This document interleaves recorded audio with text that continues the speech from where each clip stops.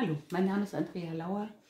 Ich ähm, habe einen ganz kurzen Text jetzt für euch rausgesucht. Das ist ein Schneeball. Das ist eine Form, einen Text zu schreiben, der heißt deswegen Schneeball, weil er am Ende rund ein bisschen auf dem Papier aussieht.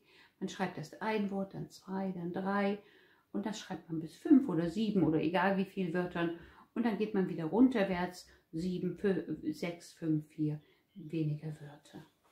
Und dieser Schneeball ist so ein bisschen so ähnlich wie ein Gedicht. Dieser Schneeball, den ich rausgesucht habe, heißt Für dich.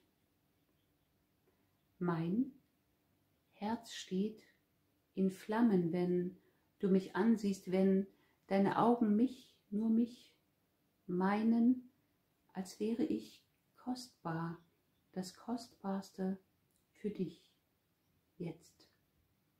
Danke fürs Zuhören.